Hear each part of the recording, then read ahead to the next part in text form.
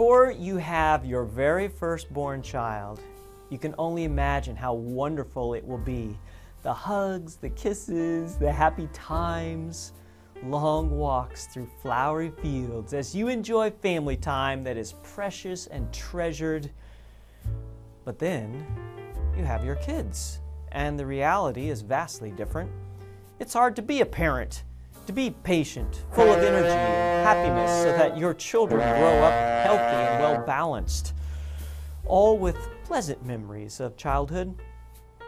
Oh, there's a little secret that parents keep to themselves and I'm going to let the cat out of the bag. Sometimes we don't like being a parent. Parenting is really tough, and we need some help. When our kids, Molly, Matthew, and Nathan, were younger, we came to a point where family life was not very fun, and something needed to change. We needed some more tools in the parenting tool bag because, well, we really only had at that time a hammer, a big one, and we came down hard on anything we didn't like that just you know happened to pop up. Boom! And there were there were lots of tears and crying and fits, and that was just from Deb and myself. Because children have a mind of their own and an independent will, and they talk back to you, and they're unreasonable, and they they won't sleep in their own beds or sleep at all. They refuse to eat the good food that you spend a lot of time and money making. Oh no, no, no. They would rather just snack all day on Cheerios and goldfish crackers. And for parents, there's no day off. There's no way to clock in and out of the job, take a break. We needed help, and we found some with Love and Logic parenting classes. Now, I know there is no one size fits all fix to parenting. There is no, oh, here, just do this, works every time. No. But Love and Logic gave us a new joy in being parents and relief from the stress of the hammer and some wisdom that really made a difference in our household.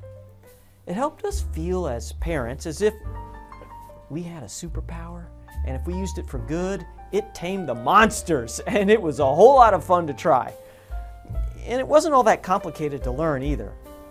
And failure, which we often did, was just part of the technique because, like all ongoing problems, don't worry about it. There will soon be another chance to give it a try again. But this time, having learned just a little bit more, our eyes went from wide open and worried to what are they going to do next to squinty as we wondered, what are we going to do next? if you are a parent, a grandparent, great grandparent, babysitter, care provider, or anyone who has to manage a young person from the age of birth to six years old, maybe a little older, I will be offering Love and Logic training in five sessions starting on Sunday, February 20th at 1 p.m.